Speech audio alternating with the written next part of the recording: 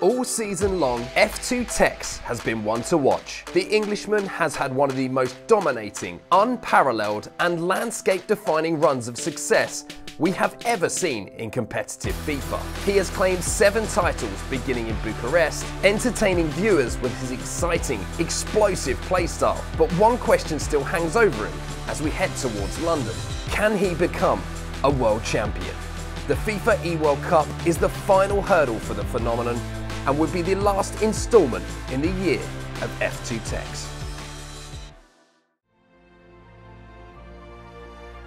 The reigning E-World Cup champion and two-time FUT Cup victor Msdossary not only represented his nation this season, but also secured a mammoth amount of Global Series ranking points.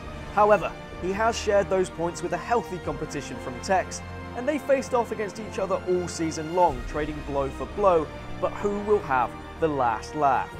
Dossary will look to make it back-to-back -back World Cups and prove once and for all that he is second to no one and undoubtedly one to watch.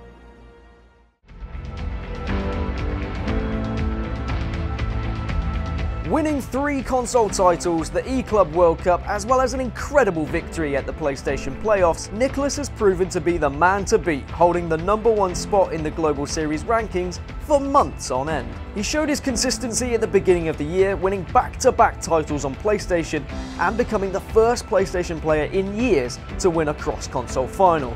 This, followed by his dominating partnership with Tekkz at the E-Club World Cup, really demonstrated the sheer force that Nicolas possesses when it comes to FIFA 19. Can the Iceman keep his cool at the biggest tournament of the year? One thing is certain, he's going to be a terrifying opponent at the E-World Cup and why he has to be one to watch. As one of our ones to watch, Maestro's season has gone from strength to strength as the tournaments have rolled by and the placements have kept rising. The FIFA E-Club World Cup was a wake-up call after a below par performance forced Maestro to re-evaluate his season. From that moment, he was reborn and moved on to the highlight moment of his season so far, where he pulled on the blue of France.